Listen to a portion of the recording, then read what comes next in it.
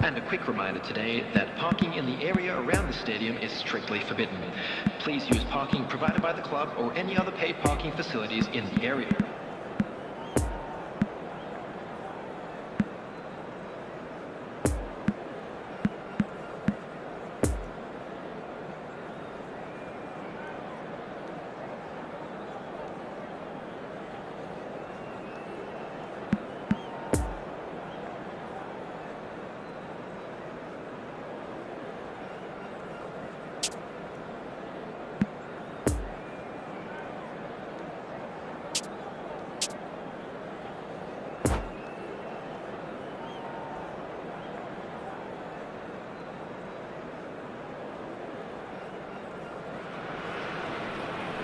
Für die Spieler und Anhänger des Vereins geht es hier in erster Linie um die Ehre.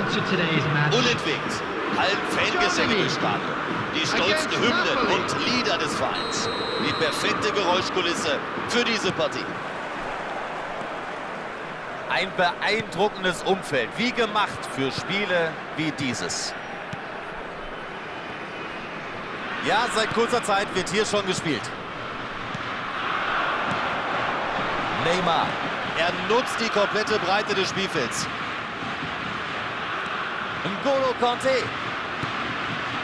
Samuel Eto'o. Abschluss! Schlichtweg nicht platziert genug. Eine dankbare Aufgabe für den Keeper aus dieser Position. Musst du einfach mehr draus machen. Pirlo. Die Idee ist gut, der Ball geht rechts raus. Richtig guter Ball, das könnte klappen. Genauso läuft man den Gegner heutzutage an. Politano.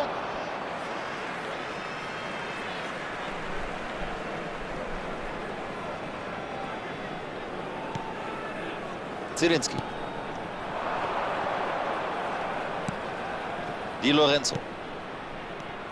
Zielinski. Ein Lupfer, ja warum denn nicht? Pirlo. Raus auf die linke Bahn. Unglaublich viele Freiheiten da auf der Außenbahn. Und na klar, noch ein Pass. Entschuldigende Geste, da ist er nicht ganz hingekommen. Sie hatten die Überzahl. Solche Chancen kriegst du nicht oft. Du musst einfach mehr draus machen. Schöne Kombination. Humorlos. Er wird es wieder versuchen, auch wenn er hier gerade noch aufgehalten worden ist. Den hat er kommen sehen. Ja, er hat antizipiert und so richtig überraschend kam er ja nicht, dieser Pass. Ndombele. Spielverlagerung auf die linke Seite. Das sah vielversprechend aus, aber dann wussten sie wahrscheinlich gar nicht, dass sie in Überzahl waren, dass sie das ganz anders hätten lösen können. Zielinski. Er sieht den Laufweg seines... Er zieht ab! Tor für den SSC Neapel! Das ist ihre Spielphilosophie. Balleroberung mit hoher Aggressivität und dann innerhalb weniger Sekunden zum Abschluss kommen. Der SSC Neapel liegt also mit einem Tor vorn. Damit dürfte sich das Spiel von jetzt an etwas spannender gestalten. Er hat in der Trickkiste geschlafen. Sehr gut abgefangen. Absolut, richtig gutes Stellungsspiel.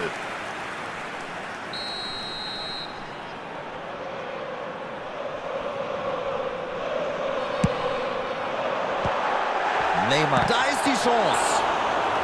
Ihre zweite Ecke am heutigen Tag. Bislang erst eine Ecke für den Gegner.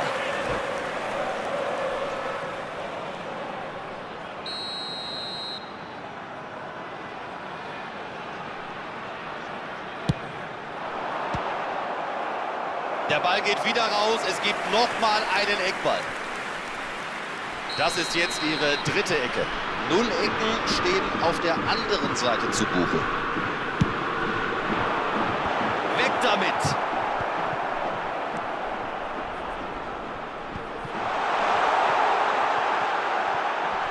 Sehr gut verteidigt. Der war wichtig. Er läuft da sehr schön mit zurück. Gute Defensivarbeit.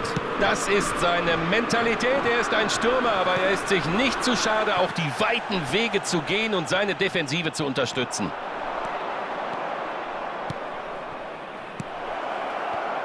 Er versucht es einfach mal. Es schießt aufs Tor. Da war richtig Schmackes dahinter. Ja, das hat er gut gemacht, aber eben nicht gut genug. Ein schwacher Pass. Der Reingabe in den 16er. Samuel Eto'o haben wir hier. Eto'o. Der Verteidiger steht ihm auf den Füßen und er setzt sich trotzdem durch.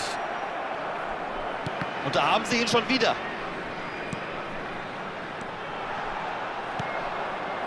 Sie hätten das hier sauber zu Ende spielen müssen. Da muss einfach mehr bei rumkommen. Mbappé. Im Ansatz war der Konter gut, aber dann machen sie in Überzahl zu wenig draus. Den nimmt er dankend entgegen. Ja, da stand er goldrichtig. Das ist ein wunderschönes Beispiel dafür, wie man einen Konter nicht zu Ende spielen darf. Du darfst so mit deinen Chancen nicht umgehen, schon gar nicht in Überzahl. Samuel Eto'o haben wir hier. Mbappé. Wieder dazwischen gegangen. Es geht über die rechte Seite. Dombele. Gut gesehen, guter Laufweg. Ja, ein super Ball. Die Chance.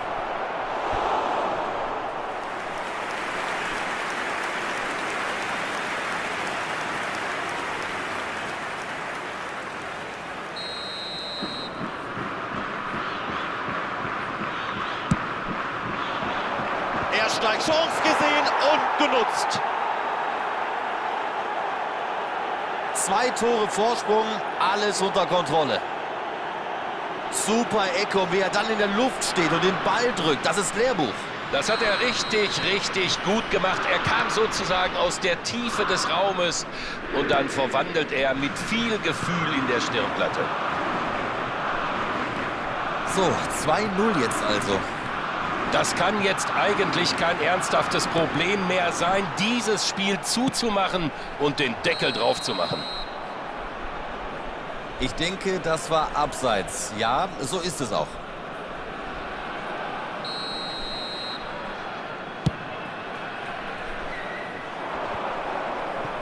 Two added minutes has been indicated. Zielinski.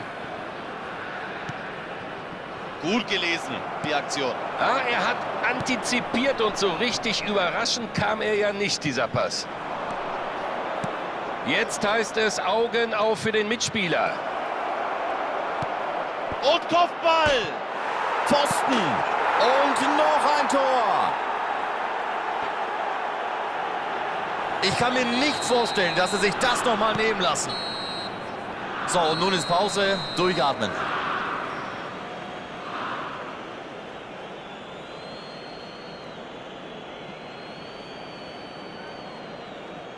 Please make sure to watch the screen for an information bulletin from the regional police department. Der Ball, der rollt wieder. Die Truppe hat doch noch eine Halbzeit vor sich. Sie müssen den Kopf oben behalten, sie müssen die Schultern breit machen und sie müssen natürlich aufpassen, dass sie jetzt nicht in die Konter laufen.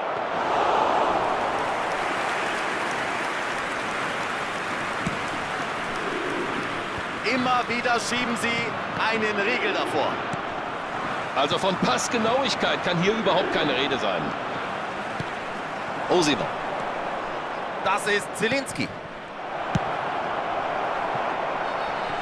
Das hätte der vierte Treffer sein müssen. Und der Versuch aus der Distanz. Ich bin mir nicht sicher, ob das die Vorgabe des Trainers ist. Sie bekommen ihre zweite Ecke. Auf der anderen Seite stehen wir übrigens bei Dreieckbällen. Schuss Richtung Tor.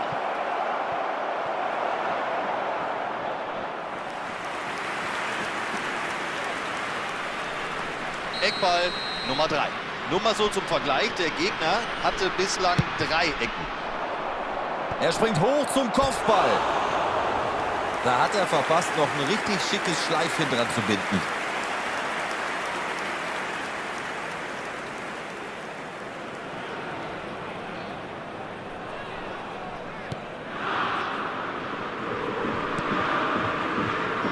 Davis. Neymar. Ito. Das ist Mbappé. Der Ball ist angekommen. Er zieht auf. Drin das Ding. Perfekt platziert. Ich leg mich da fest. Kein Torhüter der Welt hätte den gehalten. Präzise und hart. Deutschland verkürzt auf zwei Tore. Gutes Auge, guter Pass. Gut abgelaufen, Gefahr erkannt, Gefahr gewandt.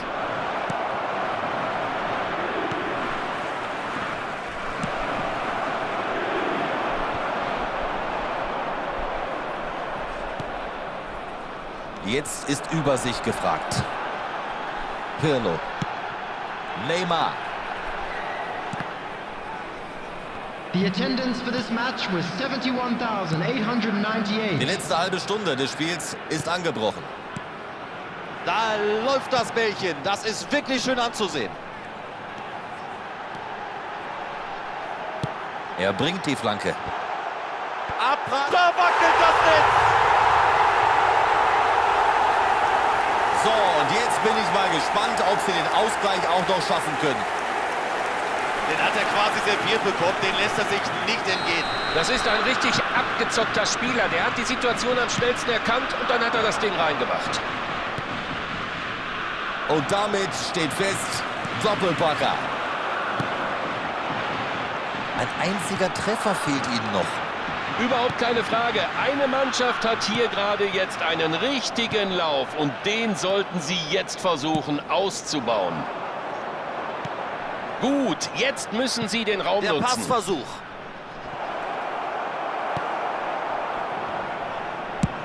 Das haben sie einfach gut verteidigt, gerade weil sie in Unterzahl waren. Also für das Tackling, da gibt es das Lob vom Trainer für das, was vorher passiert ist. Dieser Ballverlust, da gibt es mit Sicherheit kein Lob. Sie hatten die Überzahl. Solche Chancen kriegst du nicht oft. Du musst einfach mehr draus machen. Jetzt den präzisen Pass spielen. So ungestüm in den Zweikampf gegangen.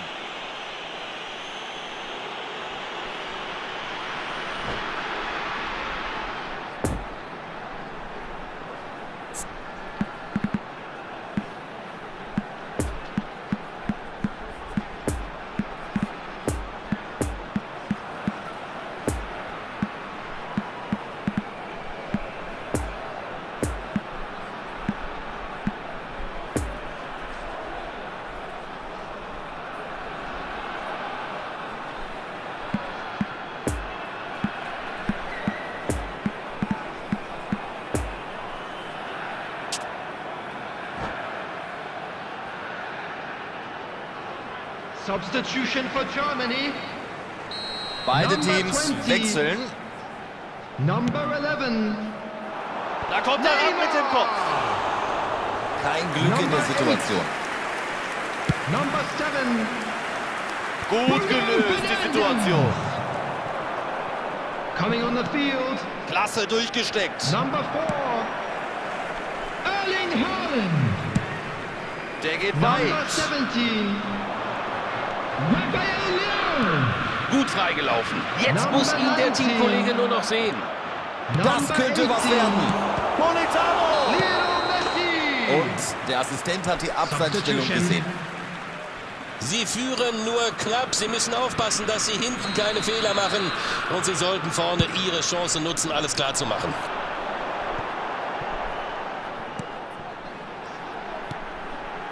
Das ist Rafael Leao. Ein hochinteressanter Ball. Der Ball kommt zu Rafael Leao. Und rein damit. Der Zeitpunkt ist doch jetzt definitiv gekommen, um vorne Überzahl herzustellen, vielleicht noch den Ausgleich zu machen, egal wie groß jetzt in der Defensive das Risiko ist. Das ist schlitzohrig. Da kommt der Ball. Nein, der kann... Die Schuss gelegt, der ist drin! Ist es das, war's das oder was erwartet uns noch? Einfach und haltbar. Der hat noch nicht mal hingeguckt und legt den Ball genau dahin, wo der Ball hin muss. Einmalig, riesig, Kompliment.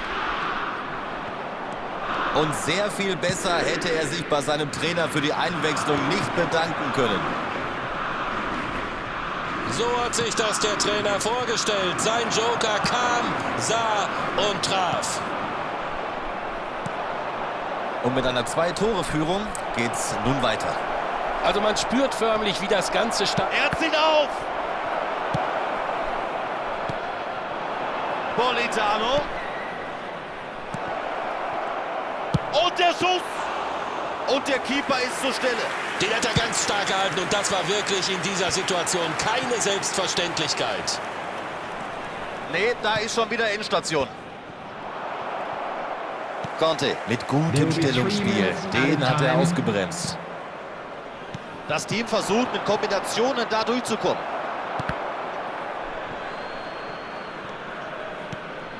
Demme. Und jetzt einfach mal weit und lang geschlagen. Ein enorm wichtiges Tackling.